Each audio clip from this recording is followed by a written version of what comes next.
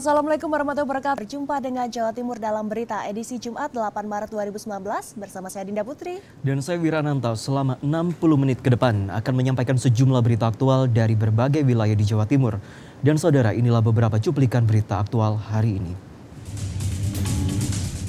Bencana banjir dampak luapan sungai Bengawan Madiun di Kabupaten Ngawi semakin parah.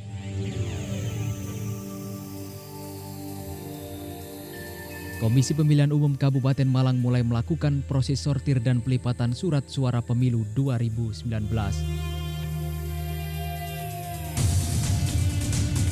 Hujan deras yang terjadi menyebabkan jalur utama Pacitan Ponorogo longsor.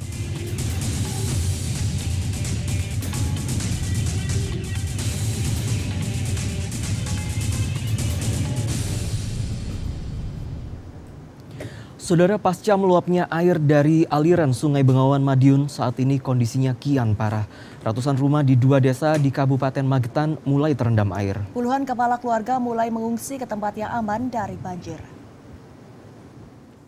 Bencana alam berupa banjir di Kabupaten Magetan saat ini terpantau kian parah.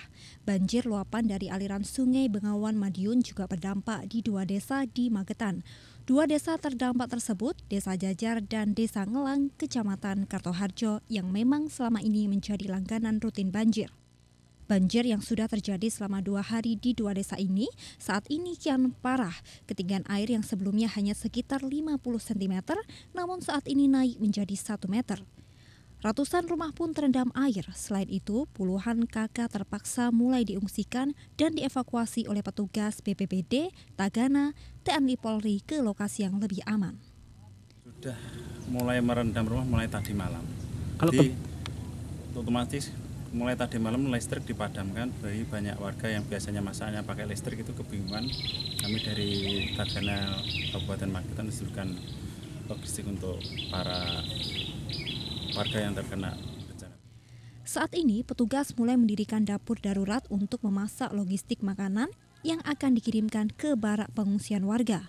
Tagana dibantu oleh petugas gabungan lain akan bersiaga dalam 24 jam mengingat saat ini intensitas hujan masih tinggi dan luapan air banjir di dua desa ini diprediksi masih terus bertambah dan semakin parah. Saudara bencana banjir dampak luapan Sungai Bengawan Madiun di Kabupaten Ngawi semakin parah. Kondisi tersebut menyebabkan ratusan warga dan binatang ternak yang terjebak banjir harus dievakuasi tim SAR bersama warga ke tempat yang lebih aman. Bencana banjir yang melanda di Kabupaten Ngawi semakin berdampak luas. Selain meluas ke beberapa wilayah, banjir yang disebabkan luapan sungai Bengawan Madiun tersebut mulai mengancam keselamatan warga. Kondisi air yang sudah memasuki perkampungan dan rumah warga Desa Manguharjo, Kabupaten Ngawi, terus mengalami kenaikan. Di jalan utama air merendam jalan setinggi satu setengah meter, sedangkan di rumah air mencapai 60 cm. Melihat kondisi tersebut, BPBD Kabupaten Ngawi yang dibantu tim SAR langsung menerjunkan perahu untuk melakukan evakuasi terhadap warga yang saat itu rumahnya mulai tergenangi banjir. Warga yang dievakuasi terutama warga yang berusia tua, ibu hamil, serta anak-anak. Keterangan kepala desa setempat ada 300 kepala keluarga yang harus dievakuasi ke tempat yang lebih aman. Saat ini eh, ketinggian air itu sudah 1,2 meter dan sekarang eh, eh, yang kita laksanakan adalah evakuasi warga yang terjebak dalam banjir lansia dan balita ibu hamil khususnya kita evakuasi ke tempat yang lebih aman. Iya. Kira-kira ada berapa warga Pak yang dievakuasi? sekitar 300 kakak. Namun meski kondisi banjir terus mengancam beberapa warga yang hendak dievakuasi justru menolak dan memilih untuk tetap bertahan di rumah. Warga yang menolak dievakuasi berada di atap rumah. Selain warga, ratusan binatang peliharaan milik warga juga harus dievakuasi ke lokasi yang belum tergenangi oleh banjir.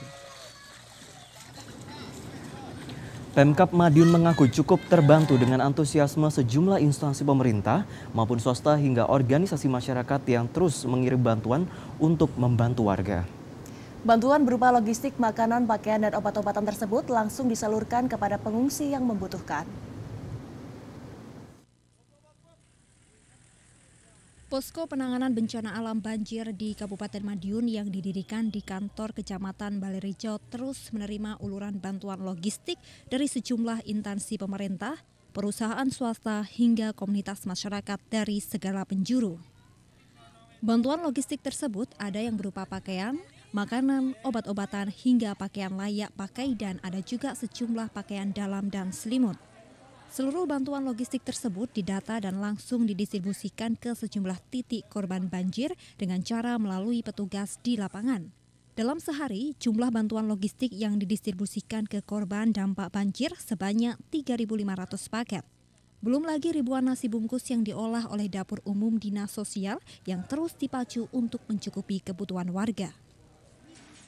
Ratusan warga korban banjir Madiun masih memilih tinggal di lokasi pengungsian dikarenakan sebagian besar warga masih merasa trauma banjir besar kembali melanda.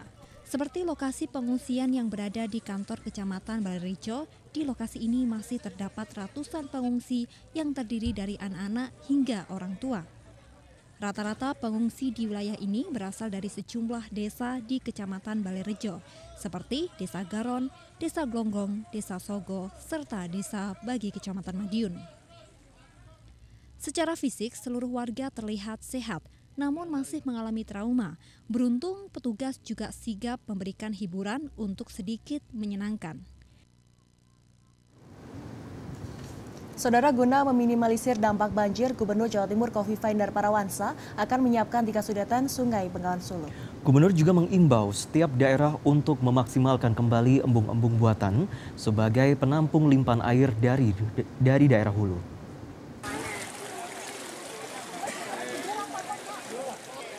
Didampingi Kapolres dan Bupati Ngawi, Gubernur Jawa Timur Kofifa Indar Parawansa meninjau langsung ke lokasi pengungsian korban banjir di Desa Jenangan, Kecamatan Kewadungan, Kabupaten Ngawi.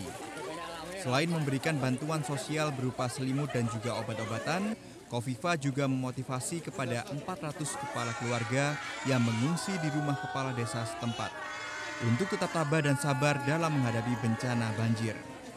Dalam kunjungannya ke lokasi terdampak banjir di Kabupaten Ngawi ini, Gubernur Jawa Timur menyatakan bahwa banjir merupakan bencana terbesar di Jawa Timur.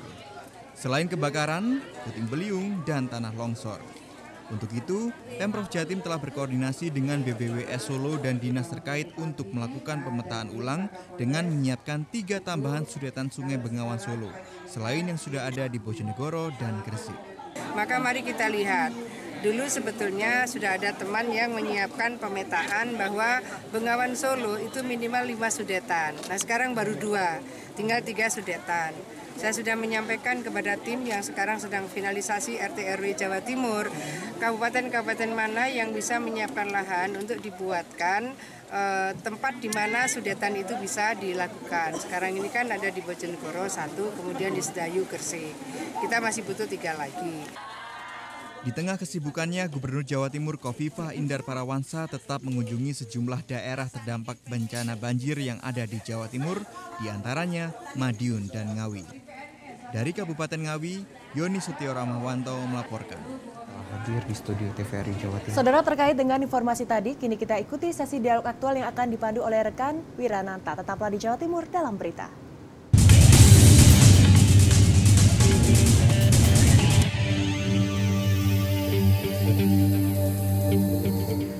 Saudara wilayah Ngawi, Ponorogo, Madiun kini diterjang banjir yang luar biasa sekali dan tidak biasa. Dengan ketinggian debit air ini mencapai di wilayah tertendangnya mencapai 2 meter. Dan menurut pengamat, fenomena banjir yang terjadi di tengah Provinsi Jawa Timur saat ini terjadi akibat pembalakan hutan yang semakin hari semakin sering terjadi di wilayah Jawa Timur. Dan untuk membahas bagaimana proses penanggulangan terkait hal tersebut. Di studio TVRI Jawa Timur saat ini sudah hadir Dr. Andes Haji Satrio Wiweko MT selaku pengamat lingkungan. Pak Satrio, selamat sore. Selamat sore dan salam lestari. Luar biasa, salam lestari juga untuk Bapak dan Saudara pastinya. Pak Satrio, bagaimana sebenarnya proses pelanggaran ini, pelanggaran lingkungan ini terjadi di Jawa Timur? Ya, sebenarnya kejadian banjir, eh, tanah longsor di Jawa Timur ini sebenarnya sudah bisa diprediksi jauh-jauh hari gitu ya. Karena apa? kerusakan daerah tangkapan air di lereng-lereng gunung di daerah uh, Pacitan, Trenggalek, Tulungagung, Ponorogo, uh, Madiun, Magetan sampai ke Bojonegoro itu kawasan lerengnya sudah mengalami uh, kerusakan lingkungan di mana uh, banyak hutan-hutan kita yang dibabat. Padahal hutan ini fungsinya adalah penyimpan air gitu ya. Banyak yang kadang nggak paham hutan ini seolah-olah hanya hijau gerumbul-gerumbul hanya uh, seperti itu bahwa hutan ini sebenarnya selain untuk menyimpan air juga hutan itu sebagai sumber plasma, plasma nutfa hutan juga uh, berfungsi sebagai paru-paru dunia. Nah masyarakat terkaget-kaget manakala uh, banjir kemarin uh, membanjiri jalan ruas tol Trans Jawa ini. Hmm, nah, ini baik. sangat uh, jarang gitu ya uh, jalan tol kebanjiran wong namanya jalan tol itu kan harus uh, jalan yang bebas hambatan tapi kenyataannya di ruas 603 sampai 604 uh, mengalami uh, banjir sampai setinggi uh, 80 cm. Nah, ini pasti ada sesuatu yang salah gitu ya. Mulai dari sistem perencanaannya ataupun juga karena juga ditunjang dari faktor tanggul yang jebol gitu ya, tanggul yang jebol. Nah, untuk itu karena Trans Jawa ini dari Jakarta nantinya sampai ke Banyuwangi ini masih uh, masih ada proses pembangunan dan banjir kemarin di 603 604 ini menjadi pembelajaran yang penting. Nanti di ruas-ruas tertentu sampai ke Banyuwangi itu juga daerah yang potensi terjadinya kerusakan lingkungan. Misalnya di daerah uh, Probolinggo di daerah situ Bondo uh, itu juga sering kali terjadi uh, banjir bandang bahkan juga uh, tanah longsor karena kerusakan uh, lahan di kawasan daerah Bondowoso dan uh, situ Bondo sehingga uh, aliran air uh, cukup uh, deras gitu. Ya. Sebagai pengamat lingkungan, uh, apakah Bapak melihat bahwa fenomena ini terjadi karena pembangunan jalan tol yang cukup masif di wilayah Jawa Timur dari uh, Banten sampai dengan Uh, sebenarnya uh, bukan satu-satunya jalan tol hmm. yang salah gitu ya. Uh, menurut saya uh, jalan tol itu uh, pada waktu sebelum dibangun di daerah sana sudah mengalami yeah. banjir. Cuman mungkin karena jalan tol ini sekarang ini jadi viral uh, salah satu kunci sukses uh, pemerintah uh, Jokowi tiba-tiba uh, satu kilometer itu mengalami banjir orang jadi uh, terbelalak uh, semua gitu. Se secara teknik sebenarnya itu bisa dikendalikan. Misalnya kalau di daerah sana uh, lokasinya memang uh, rawan banjir, misalnya pada waktu pembangunan uh, jalan tol itu ya dengan menggunakan uh, tiang pancang gitu ya hmm. sehingga air tetap bisa uh, mengalir. Tapi itu bukan salah satu solusi saja. Bukan tapi salah satu yang, solusi. Yang perlu dibenahi adalah uh, uh, sumber penyebab banjirnya gitu ya. Sumber penyebab banjirnya adalah kerusakan lahan, terus kemudian juga plengsengan-plengsengan itu tanggul-tanggul banyak yang jebol gitu ya. Terus kemudian juga perlu dikaji tadi uh, pembuatan embung atau bahkan juga pembuatan dam sehingga uh, manakala air itu melimpah masih bisa disimpan di embung-embung tersebut. Dan masyarakat juga uh, perlu diedukasi gitu ya. Misalnya uh, bukan hanya kerusakan uh, lingkungan tapi juga masih pola dari masyarakat yang membuang sampah itu masih sembarangan sehingga menyebabkan uh, saluran sungai atau drainase itu tersumbat oleh sampah-sampah uh, tersebut gitu. Nah ke depannya harusnya pemerintah selain um, memprioritaskan pembuatan embung atau juga membuat uh, plengsengan itu juga harus dilakukan upaya-upaya uh, reforestry gitu ya, uh, penghutanan kembali gitu ya di kawasan lereng-lereng karena kalau kawasan lereng-lereng ini di Trenggalek, Pacitan eh, atau Ponorogo kemarin juga terjadi longsor, itu kalau tidak direbuisasi, direforestry gitu ya, Baik. itu akan mengalami hal yang serupa. Nah, ke depan juga partisipasi warga masyarakat juga perlu dibangun, misalnya di setiap desa selain ada embung juga diwajibkan membuat sumur injeksi gitu ya. Hmm. Sumur injeksi itu untuk uh, mengembalikan air hujan ini langsung ke perut bumi. Bagaimana proses pembuatan sumur injeksi? Sumur injeksi itu sumur yang uh, diameternya hampir satu meter, kedalamannya uh, 10 meter, sehingga air hujan itu tidak semua dialirkan ke sungai, tapi dimasukkan ke dalam sumur injeksi dan disimpan.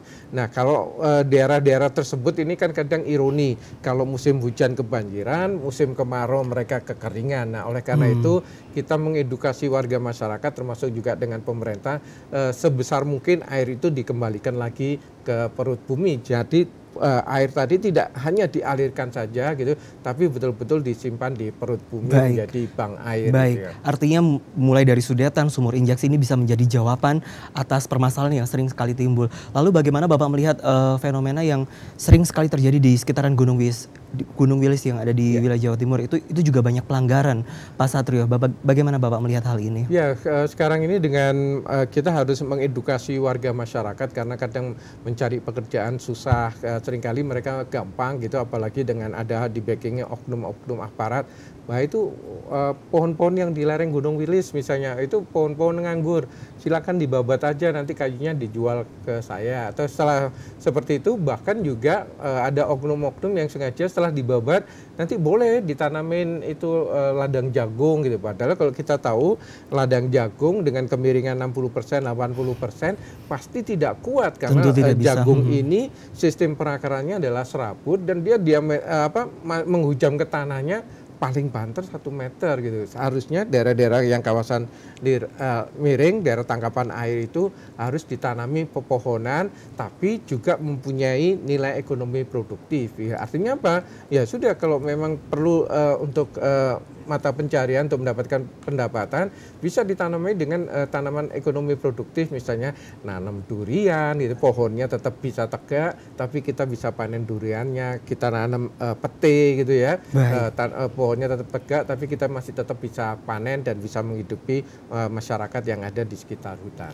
Baik artinya banyak sekali yang bisa uh, sebenarnya kita lakukan untuk mencegah banjir seperti itu ya Pak ya. ya. Um, bagaimana juga Bapak melihat uh, terkait banyaknya daerah-daerah yang sebenarnya sudah dilakukan sosialisasi tapi masih saja banjir dan ini seperti masalah tahunan yang tidak pernah kunjung selesai seperti itu. Nah ini makanya dari pemerintah apalagi sekarang alhamdulillah dengan pemerintah yang baru Ibu Kofifa dan hmm. Pak Emil ini uh, program lingkungannya cukup uh, jelas. Nah mumpung di uh, sebelum 99 hari ini mereka sudah mencanangkan dengan program uh, kali bersihnya tidak membuang uh, sampah popok ke sungai atau plastik hmm. uh, ke sungai dan ini mungkin juga perlu diedukasi lagi dengan uh, tragedi banjir uh, ini harus dilakukan upaya-upaya penghijauan khususnya di kawasan uh, hulu gitu ya yeah. karena uh, air ini kan siklus hidrologi gitu ya mengalami siklus hidrologi mulai dari uh, hujan ditangkap oleh pepohonan Baik. di kawasan hulu, kemudian mengalir menjadi mata air, kemudian mengalir ke sungai besar, sungai besar mengalir ke laut. Nah ini siklus hidrologi ini harus dijaga gitu ya, jangan sampai seharusnya ini ditangkap oleh pepohonan tapi pohonnya nggak ada gitu. Pohonnya Akhir, yang udah ditebang tadi, Pohonnya udah ditebang lagi, hmm. sehingga air hujan pun Betul. akhirnya mengalir dengan uh, deras bisa menyebabkan banjir bandang dan tanah longsor. Nah untuk itu dengan uh, Ibu Gubernur yang baru ini, ayo dicanangkan program uh, rehabilitasi atau ribuisasi untuk kawasan eh, lahan-lahan uh, kritis. Tapi sayangnya sekarang ini juga banyak lahan-lahan yang lereng-lereng yang tadinya untuk konservasi, tapi sudah berubah fungsi gitu ya. Bahkan juga berubah kepemilikan gitu ya. Kepemilikan menjadi seharusnya punyanya perhutani, punyanya kehutanan, punyanya pemerintah. Tapi sekarang ini banyak uh, hutan-hutan tersebut menjadi milik pribadi gitu ya. Milik pribadi hanya beberapa orang menguasai lahan yang uh, cukup luas gitu ya dan ini yang kadang uh, sama, uh, sangat sulit kalau untuk dilakukan upaya-upaya untuk reforestry atau uh, rehabilitasi uh, ya. hutan tersebut. Ini menarik Pak karena banyak sekali memang organisasi nirlaba yang memang uh, saat ini fokusnya untuk mengelola hutan secara pribadi seperti itu. Anda sendiri melihat fenomena seperti ini banyak uh, swasta yang melakukan itu sebagai pengelolaan yang dalam tanda kutip untuk untuk penghijauan tapi pada kenyataannya tidak seperti itu apa solusi yang seharusnya dapat diambil? Ya untuk penghijauan eh, sering kali kita kembali ke kitahnya gitu ya. Kalau misalnya kitahnya kalau kawasan lereng 60 sampai 80 persen, ya kita hijaukan dengan tanaman keras tadi atau tanaman-tanaman produktif yang tidak dibabat gitu ya. Hanya diambil nilai ekonominya dari uh, buahnya ataupun dari uh, produk-produk ikutan misalnya untuk uh, lebah atau uh, yang lain. Tapi kalau misalnya swasta itu uh, menghijaukan tapi uh, di utamanya di kawasan lereng uh, dengan tanaman-tanaman uh, kayu gitu setelah 2 3 tahun kemudian dibabat lagi diambil kayunya, nah ini akan sangat berbahaya. Boleh nanam tanaman-tanaman uh, uh, produktif, tapi jangan yang kemiringan 60% ke Baik. atas uh, seperti itu. Dan ini juga perlu diedukasi karena eh, peran serta masyarakat ini perlu dilibatkan. Misalnya di kawasan lereng-lereng gunung itu juga banyak sekolah ya. Seharusnya program pemerintah masuk ke sekolah mengadakan uh, hutan sekolah gitu ya. Banyak ke uh, sekolah-sekolah itu yang berada di kawasan uh, daerah aliran sungai gitu ya. Itu bisa dilibatkan uh, masyarakat melalui sekolah ini dengan membuat hutan sekolah sehingga daerah aliran sungai ini bisa terjaga dengan baik seperti itu ketika kita berbicara masyarakat yang taat akan aturan tentu ini bukan hal yang cukup sulit Pak Satrio. Tapi bagaimana dengan oknum-oknum nakal yang memanfaatkan hal-hal yang tidak baik tadi? Adakah peraturan yang dapat dalam tanda kutip menjerat seperti itu? Sebenarnya peraturan untuk konservasi sumber daya alam dan hayati itu kita sudah cukup lama, ada Undang-Undang Nomor 5 Tahun 90 itu sudah uh, lumayan lama. Kalau dari sisi peraturan uh, Indonesia ini cukup komplit bahkan Jawa Timur ini cukup komplit. Nah yang paling penting adalah kalau untuk menjerat uh, oknum-oknum tersebut itu perlu dilibatkan uh, peran serta masyarakat. Yeah. Sekarang ini dengan zaman milenial, zamannya orang punya kit, apa HP yang cukup canggih. Nah kalau ada kerusakan lingkungan tinggal di uh, di share, ya, di, di posting, diviralkan aja, begitu ya, Pak? di upload, mm -hmm. kemudian di share ke seluruh uh, masyarakat sehingga akan membuat cerah oknum-oknum uh, aparat yang uh, tidak baik gitu ya dalam rangka perusakan lingkungan. Tapi kalau kita lihat di Indonesia ini atau khususnya di Jawa Timur, masyarakat kita ini lebih suka kalau uh, bentuknya dalam bentuk reward gitu ya. Hmm. Dalam reward misalnya uh, gubernur yang lalu uh, mereka punya namanya program berseri, desa yeah. berseri, desa yang bersih, hijau dan lestari. Nah, ini perlu ditindaklanjuti dengan program-program yang memberikan reward sehingga ada sebuah desa percontohan bagaimana desa itu bisa membuat uh, percontohan untuk uh, menjaga kelestarian lingkungan bahkan juga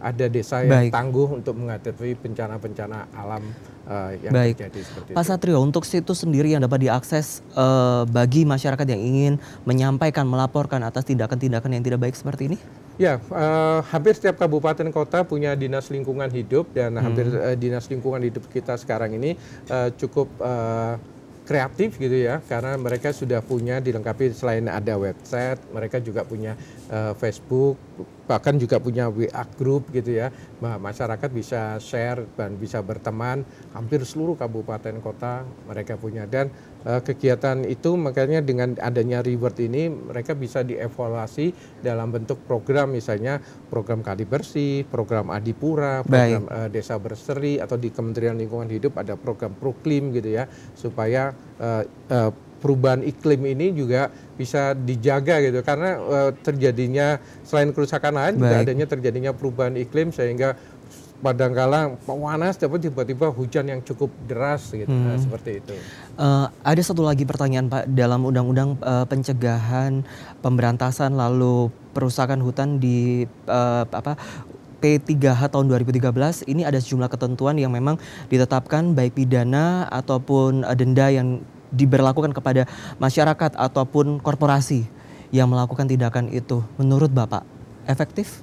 Ya, saya pikir itu uh, bagus sekali. Jadi uh, bahkan uh, misalnya uh, masalah kebakaran hutan dan lahan di kawasan Sumatera, Kementerian Lingkungan Hidup dan Kehutanan sudah menang gitu ya, yeah. uh, menangkap uh, beberapa oknum uh, industri korporat gitu ya, hmm. yang mereka sengaja uh, membuka hutan dan lahan dengan cara uh, dibakar. Saya pikir itu uh, cukup bagus, perlu diterus diteruskan. Tapi juga selain uh, dengan uh, panism, juga perlu ada dengan program yang reward misalnya tadi dengan uh, kegiatan Kampung Proklim, uh, Adipura, uh, Desa Berseri atau uh, Desa Tangguh. Karena masyarakat kita ini uh, butuh keteladanan gitu ya, butuh keteladanan dan kepeloporan kalau itu uh, disebarluaskan ke seluruh uh, lapisan masyarakat, insya Allah uh, banjir itu tidak akan uh, terjadi. Dan memang perlu sekali uh, edukasi dan juga implementasi. Sekarang ini kalau bulan Januari Februari itu uh, dana dana dari pemerintah belum turun gitu, sehingga kalau mau ngadain penghijauan segala macam itu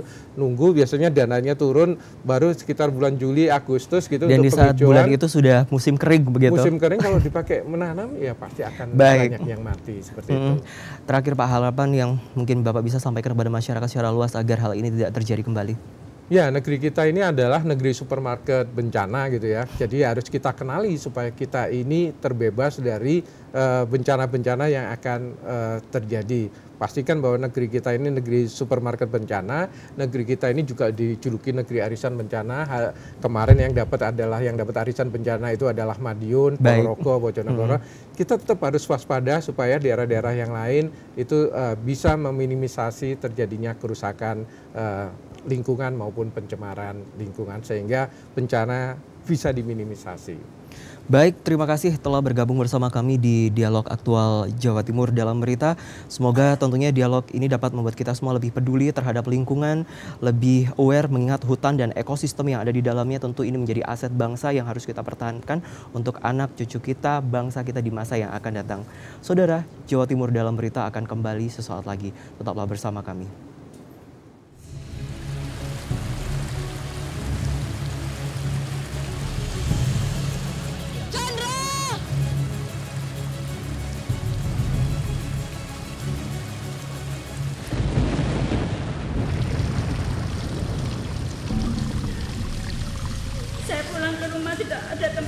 Kami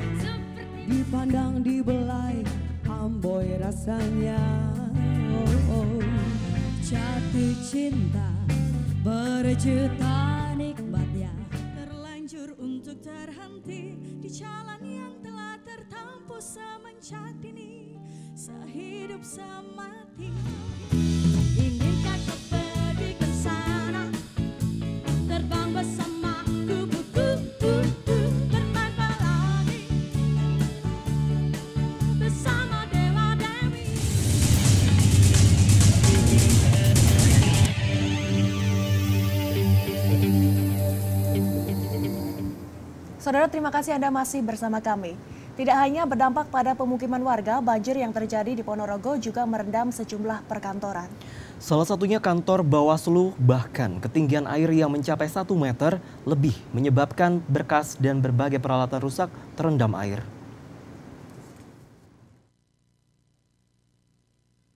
Banjir merendam kantor Bawaslu Kabupaten Ponorogo yang berada di Jalan Trunojoyo, Kelurahan Brotonegaran, Kecamatan Ponorogo. Ketinggian air mencapai 1 meter lebih hingga menyebabkan air masuk ke dalam ruangan. Akibatnya sejumlah peralatan kantor rusak, bahkan sejumlah berkas penting juga ikut hancur terendam air. Tidak hanya itu saja, tiga mobil dinas juga ikut terendam saat terparkir di halaman. Sebelum terjadi banjir, satu hari sebelumnya sudah dilakukan upaya antisipasi penyelamatan barang-barang yang ada di dalam kantor dengan memindahkannya di atas meja. Namun di luar perkiraan pada pukul 4 waktu Indonesia Barat dini hari tadi, banjir menerjang wilayah setempat dengan volume air yang lebih besar. Kami belum bisa operasionalkan beberapa komputer dan laptop. Nah, kami tetap siaga di sini untuk menjaga um, barang-barang aset negara tersebut agar tetap aman. Ada tiga mobil ya yang tidak sempat terselamatkan. Karena memang e, personil kami itu sibuk menyelamatkan arsip dan e, berkas-berkas. Berkas SPJ yang terutama 2019 kalau 2018 sebagian sudah basah. Artinya tetap kita apa naikkan semua tapi berkas-berkas yang 2018 itu tadi jelas-jelas sebagian eh, hampir 50 persen betul-betul basah. Selain kantor Bawaslu, beberapa perkantoran di sekitar lokasi juga ikut terendam banjir dengan ketinggian bervariasi. Banjir ini terjadi akibat luapan Sungai Dasolo. Akibat kejadian ini, ratusan warga terpaksa mengungsi ke tempat aman karena pemukiman mereka terendam banjir. Dari Ponorogo, Agus Triwasono melaporkan. Bencana puting beliung yang melanda dua desa di Kecamatan Tongas, Kabupaten Probolinggo membuat warga setempat trauma. Puting beliung memporak-porandakan rumah warga hingga belasan pohon randu berukuran besar tumbang dan menyebabkan seorang pengendara motor tewas. 15 rumah milik warga desa Tambak Rejo, Kecamatan Tongas, Kabupaten Probolinggo, porak-poranda pasca diterjang puting beliung. Atap rumah mereka hancur tertimpa pohon yang tumbang. Pemandangan tidak kalah menyeramkan juga terjadi di jalan desa Tambak Rejo. 15 pohon randu berukuran besar tumbang hingga menutup jalan. Bahkan seorang pengendara motor tewas akibat tertimpa pohon. Dia adalah Abdul Rohim, 32 tahun, warga desa Nguling, Kecamatan Nguling, Kabupaten Pasuruan. Sejumlah warga mengaku trauma dengan bencana puting beliung yang melanda desa mereka. Puting beliung yang berlangsung sekitar lima menit telah membuat kehidupan warga lumpuh. BPBD Kabupaten Probolinggo telah menerjunkan puluhan personil untuk melakukan evakuasi terhadap daerah terdampak. Ada 15 rumah di Desa Tambak Rejo yang rusak parah dan 30 rumah di Desa Curah Tulis Kecamatan Tongas yang mengalami nasib serupa. Ini tendanya melanjutkan pekerjaan penebangan pohon untuk supaya akses bisa segera ter, teratasi dengan melibatkan beberapa unsur seperti TNI, Polri, Tagana juga BPBD dan juga nanti minta bantuan dari PUPR uh, alat berat pengangkutan menaikkan kayu ke atas truk. Petugas juga telah menyediakan dapur umum untuk konsumsi korban puting beliung. Dihimbau kepada warga agar tetap waspada dan hati-hati dengan kondisi cuaca saat ini. Saudara banjir tidak saja melanda wilayah Madiun, namun berkembang ke wilayah Ponorogo.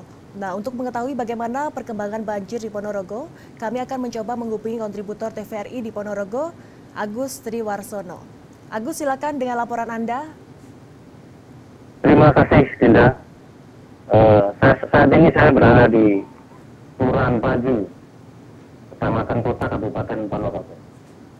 Dapat kami laporkan pemirsa, banjir yang terjadi di Ponorogo yang menerjang 8 kecamatan sejak Rabu malam hingga saat ini pada siang tadi sudah berangsur surut. Namun demikian di sejumlah wilayah air masih menggenangi beberapa rumah warga dan juga beberapa, beberapa akses jalan. Dari data Dinas Sosial Kabupaten Ponorogo, sebanyak 3.048 pengungsi yang tersebar di 10 titik saat ini berangsur untuk pulang ke rumah masing-masing. 455 pengungsi yang ada di Sasaran Projo Pemkap Ponorogo juga mulai pulang ke rumah masing-masing. Sementara sebagian pengungsi lainnya masih memilih bertahan karena perkampungan mereka masih dilanda banjir dengan ketinggian 50 hingga 1 meter. Dapat kami laporkan juga pemirsa bahwa pada Jumat pagi banjir yang melanda Ponorogo juga menyebabkan jalur akses menuju Ponorogo Wonogiri macet total karena tertutup oleh arus banjir. Sementara sejumlah sekolah di beberapa kecamatan juga diliburkan karena sekolah mereka masih tergenang air. Baik, terima kasih rekan Agus. Nah, bagaimana dengan posisi masyarakat yang saat ini sudah mengungsi? Oh, beberapa masyarakat yang mengungsi saat ini sebagian sudah pulang ke rumah masing-masing dengan dibantu dinas sosial Kabupaten Ponorogo sementara beberapa pengungsi lainnya yang berada di sejumlah sekolahan, di masjid dan beberapa titik tempat lainnya masih bertahan karena di rumah mereka masih tergenang banjir. Lalu bagaimana dengan kantor KPU yang terendam dengan kondisi surat, surat suaranya? Hingga saat ini kantor Panwaslu yang terendam baik dokumen dan peralatan sejumlah komputer dan sejumlah dokumen lainnya masih bisa diselamatkan namun demikian air masih menggenangi Panwaslu Kabupaten Ponorogo. Baik, terima kasih rekan Agus Riwarsono. Selamat kembali bertugas. Dan saudara jangan ke mana-mana, tetaplah bersama kami di Jawa Timur dalam berita. Kami akan kembali selepas pesan-pesan berikut ini.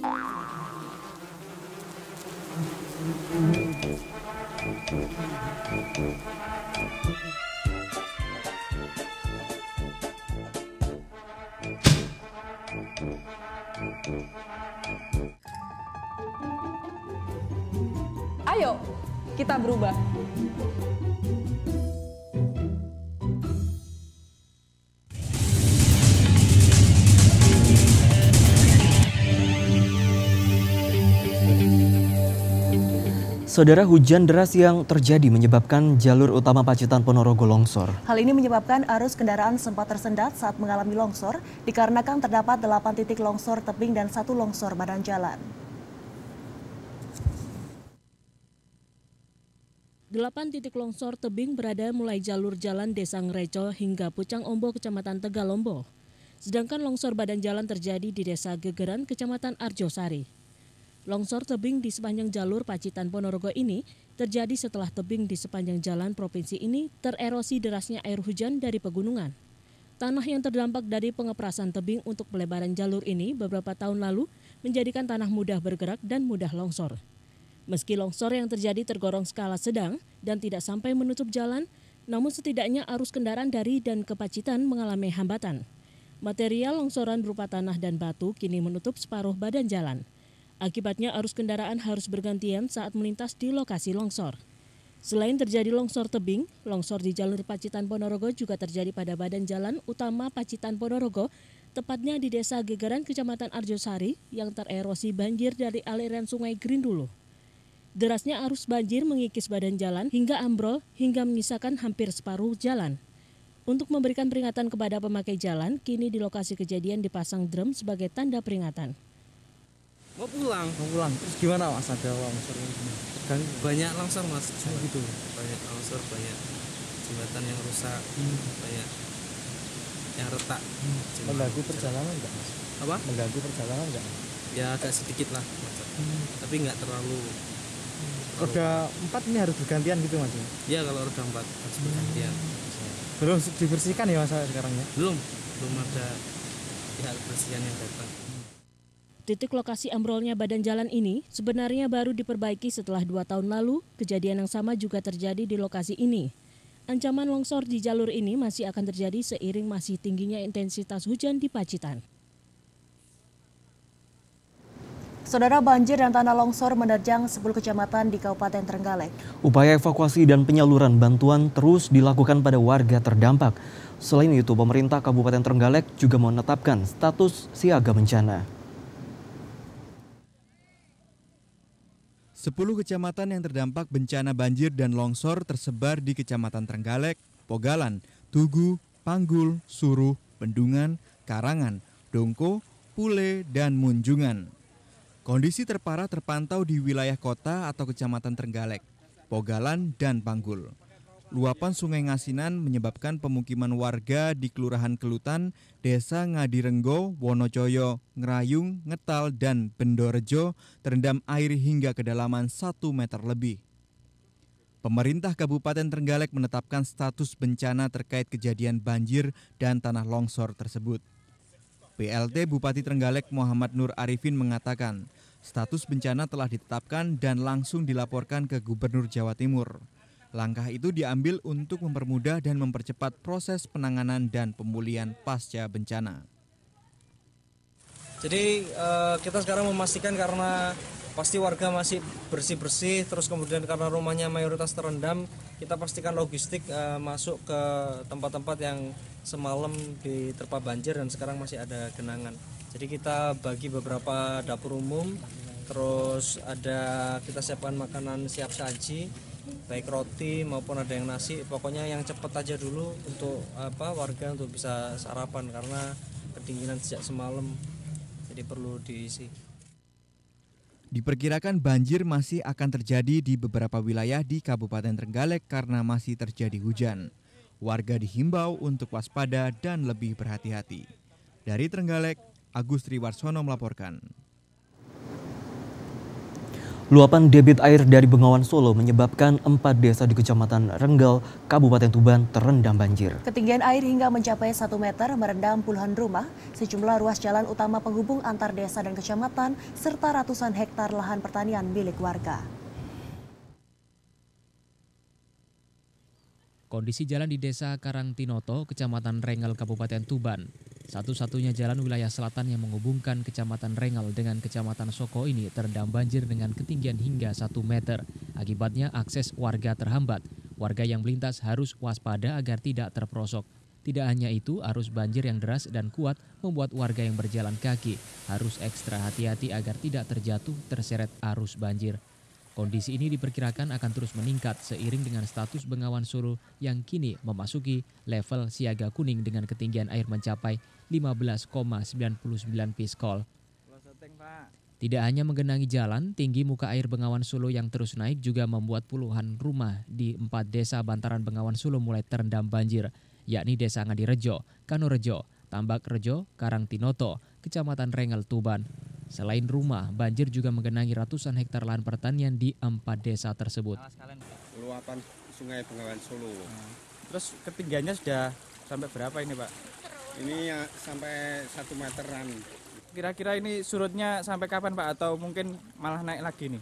Ini kelihatannya mau naik, tambah naik lagi ini. Hmm. Airnya, cerita airnya. Dari luapan mana? Air Bengawan Solo Pak. Ini tiap tahun terjadi seperti ini? Iya, ini banjir tahunan pak terus uh, apa sudah menggenangi apa aja pak ini sudah mengenai persawahan dan perumahan ya sudah ada yang kemasukan air pak Warga berharap pemerintah segera membuat tanggul di sepanjang aliran sungai, khususnya di Kabupaten Tuban, sehingga banjir musiman yang terjadi tiap puncak musim penghujan ini tidak terus terulang. Dari Kabupaten Tuban, Heri Setiawan melaporkan. Saudara hingga hari ini banjir di Kabupaten Ponorogo terus meluas ke enam kecamatan.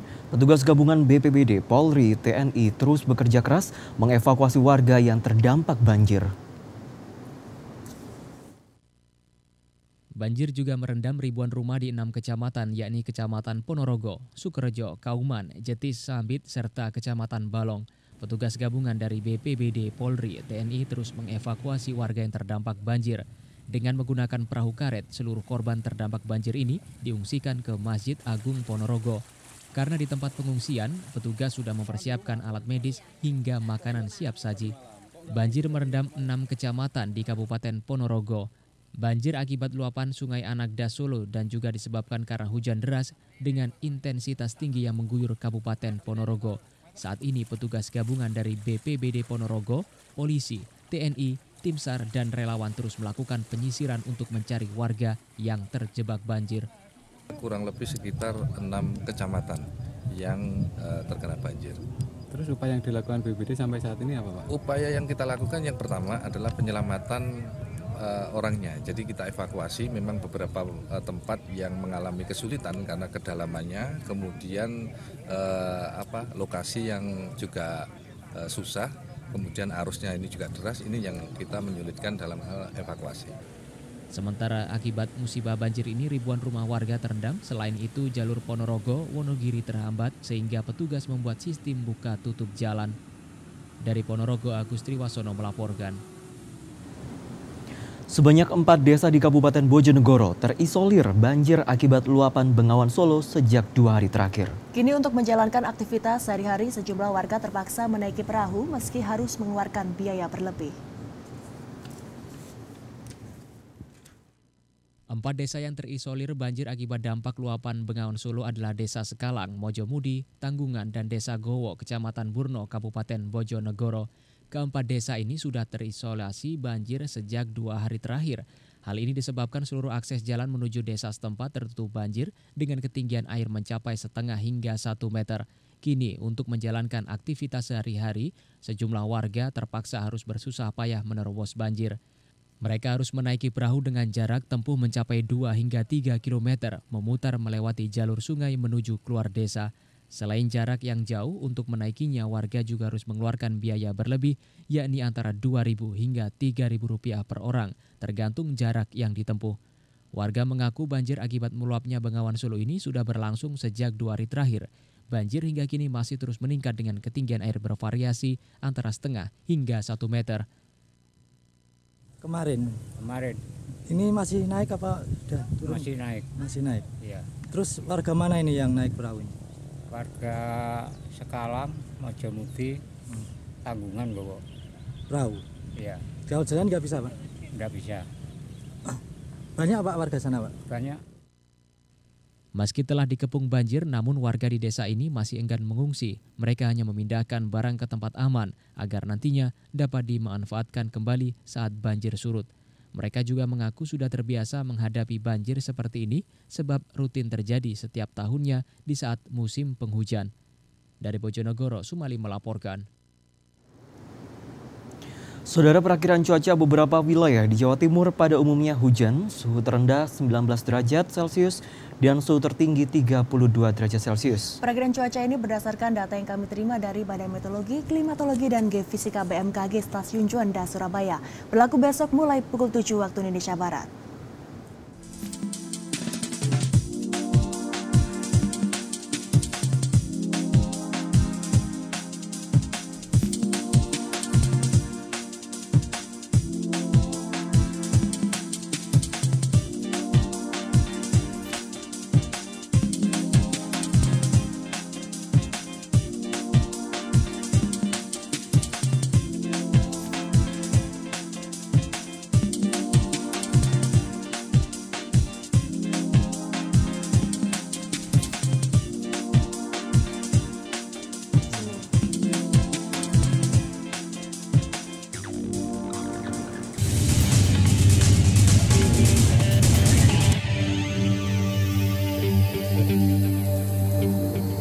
Saudara memasuki era revolusi industri 4.0, setiap lembaga pendidikan diharapkan mampu berkreasi untuk berinovasi dan berinovasi maksud kami menyiapkan sumber daya manusia yang berkualitas. Hal tersebut dilakukan SMA Negeri 6 Surabaya dengan menggandeng sebuah BUMN melalui program CSR di bidang pendidikan untuk meningkatkan kualitas anak didiknya. Era revolusi industri 4.0 atau yang sering juga disebut sebagai era milenial dan era disrupsi menuntut setiap orang untuk memiliki kecerdasan, keterampilan, dan kompetensi. Menyadari hal tersebut, setiap lembaga pendidikan berusaha untuk mempersiapkan para lulusannya agar mampu bersaing di era persaingan global saat ini.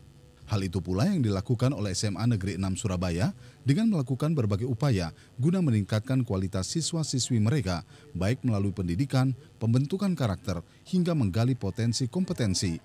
Dengan menggandeng sejumlah pihak termasuk BUMN, SMA ini berharap kerjasama yang dibangun mampu menghasilkan sarana prasarana pendidikan yang baik guna menunjang proses belajar mengajar para siswa agar memiliki daya saing. Alhamdulillah PLN ternyata tidak hanya menerangi di, di, di kegelapan, tetapi juga menerangi anak-anak bangsa untuk mem, menuju ke keterbukaan, ke pendidikan yang lebih bagus, itu ya. ini saya sangat senang sekali, sangat bangga sekali. PT PLN luar biasa dalam membantu pendidikan karena sekolah-sekolah saat ini sangat butuh uluran CSR, terutama terkait dengan kebutuhan-kebutuhan yang Pertama yaitu persiapan UNBK yang saat ini untuk PLN mengajar kita diberi bantuan luar biasa. Terangi Bangsa dengan Pendidikan menjadi salah satu program CSR PT PLN Persero untuk mewujudkan kualitas SDM melalui pendidikan, salah satunya di SMA Negeri 6 Surabaya. Melalui Direktur Bisnis Regional Sumatera, Wiluyo Kusdwi Harto, yang juga merupakan alumni SMA Negeri 6 Surabaya, PT PLN Persero menyerahkan bantuan dana ratusan juta rupiah untuk meningkatkan sarana pendidikan berupa peralatan komputer dan taman bacaan. Di usianya yang ke-41 tahun, LPP TVRI Jawa Timur terus berupaya memberikan tontonan yang mengedukatif dan menjadi ruang publik di hati masyarakat. Hal itu disampaikan Kepala Stasiun Lembaga Penyiaran Publik LPP TVRI Jawa Timur Akbar Sahidi saat menggelar syukuran hari jadi LPP TVRI Jawa Timur. 41 tahun bukan usia yang dini bagi Lembaga Penyiaran Publik LPP TVRI mengarungi dunia penyiaran. Di usianya saat ini, TVRI konsisten memberikan siaran yang sehat bagi tontonan keluarga melalui program unggulannya. Hal itu disampaikan Kepala Stasiun Kepsta LPP TVRI Jawa Timur, Akbar Sahidi, saat sambutan syukuran hari jadi LPP TVRI Jawa Timur ke-41 tahun. Akbar juga menyampaikan ucapan terima kasih kepada para karyawan TVRI yang akan memasuki purna tugas untuk kerja kerasnya demi memberikan siaran yang edukatif bagi publik. Pada syukuran ini, Kepsta TVRI Jatim Akbar Saidi menyampaikan pada tanggal 28 Maret TVRI secara nasional serentak akan rebranding tampilan layar dan kerja melalui logo baru. Melalui momentum logo baru, Kepala Stasiun TVRI Jatim minta agar semangat baru juga ditanamkan untuk saling bekerja sama dengan baik. Kita harapkan dengan logo yang baru ini minimal bisa memberikan spirit, ya semangat bagi seluruh karyawan dan seluruh pejabatnya supaya meningkatkan motivasi kinerja untuk memberikan pelayanan publik kepada masyarakat. Karena eh, kita tahu bahwa logo yang akan kita luncur ini bukan hanya di on air, tetapi eh, off airnya juga sangat dahsyat. Semua berubah. Jadi kita harapkan dengan logo baru ini eh, kita gencar melakukan sosialisasi supaya pada gilirannya masyarakat juga tahu bahwa TVRI sudah berubah. LPP TVRI adalah media pemersatu bangsa yang mewadahi kepentingan dan aspirasi publik. Maka diharapkan masyarakat ikut memiliki TVRI sebagai lembaga penyiaran publik. Pentingnya peran publik memberikan informasi dan aspirasi ini agar TVRI semakin dekat dan dapat memberikan program edukatif yang dibutuhkan masyarakat. Komisi Pemilihan Umum Kabupaten Malang mulai melakukan proses sortir dan pelipatan surat suara pemilu 2019. 10 juta surat suara yang akan disortir dan dilipat ini diharap selesai 30 hari ke depan. Proses pelipatan dan sortir surat suara untuk pemilu 2019 dilakukan di gudang KPU Kabupaten Malang. Pelipatan surat suara yang dilaksanakan mulai Kamis 7 Maret 2019 melibatkan 100 pekerja. Untuk saat ini proses pelipatan dan sortir masih empat jenis surat suara yang meliputi pemilihan legislatif DPRD Kabupaten, DPRD Provinsi, dan DPR RI, serta DPD. Sementara untuk surat suara pemilihan presiden masih belum diterima karena menjadi kewenangan KPU RI. Untuk pemilu kali ini ada 10 juta surat suara yang akan disortir dan dilipat termasuk surat suara Pilpres. Dengan 100 pekerja diharapkan proses pelipatan dan sortir surat suara bisa diselesaikan dalam waktu 30 hari ke depan. Agar lebih efisien, skema pengerjaan sortir dan pelipatan diselesaikan per kecamatan terlebih dahulu. Jika satu kecamatan sudah selesai, kemudian akan didistribusikan langsung ke PPK kecamatan yang bersangkutan. Gudang KPU Kabupaten Malang sudah tidak mungkin lagi untuk menampung logistik surat suara jika tidak kita lakukan langkah-langkah teknis dan strategis untuk mempercepat proses distribusi surat suara. Maka menjadi penting kami mengundang Bawaslu dan kepolisian dalam hal ini Polres Malang untuk bersama-sama ya kita koordinasikan bagaimana alur distribusi logistik ini supaya efisien, kemudian eh, seluruh tahapan dapat kita amankan bersama-sama tanpa harus melanggar peraturan. Kabupaten Malang jumlah daftar pemilih tetap hampir mencapai 2 juta orang. Maka untuk lima jenis surat suara DPRD Kabupaten, DPRD Provinsi, DPR RI, dan DPD serta Pilpres dibutuhkan lebih dari 10 juta lembar surat suara. Hari pertama masih belum ditemukan kendala dalam pelaksanaan proses sortir dan pelipatan surat suara. Namun petugas sudah menemukan kerusakan surat suara. Dari Kabupaten Malang, Arif Masbukin melaporkan. Informasi tadi mengakhiri seluruh rangkaian Jawa Timur dalam berita sore ini dan seluruh berita tersebut juga dapat Anda akses melalui website kami di tvri.co.id atau di aplikasi Play Store di Klik TVRI. Dan saudara kita akan melaksanakan pemilihan umum 17 April 2019. Jangan lupa cek daftar pemilih tetap di papan pengumuman desa atau kelurahan Anda. Saya Dinda Putri Dan saya Wirananta mewakili seluruh kerabat kerja yang bertugas mengucapkan terima kasih atas perhatian dan kebersamaan Anda. Wassalamualaikum warahmatullahi wabarakatuh.